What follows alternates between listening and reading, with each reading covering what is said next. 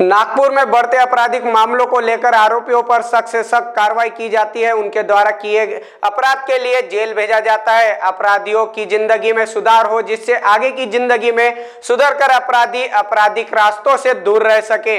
आपराधिक मामले में एक घटना सामने आई है। एमपीडी की कार्रवाई में छुटे एक आरोपी दत्या ने और उसके छह सात साथियों ने कामटी नाका हद में धारदार शस्त्रों को हाथ में लेकर रास्ते से आने जाने वाले व्यक्तियों को डरा धमकाकर आतंक मचाया है और एक व्यक्ति के साथ मारपीट कर दत्या और उसके साथी घटनास्थल से फरार हो गए। परिसर में डर का माहौल बना है। सूचना मिलते ही कपिल नगर पुलिस आरोपी की तलाश में जुटी है। महा न्यूज़ सेवन के लिए ब्यूरो रिपोर्ट।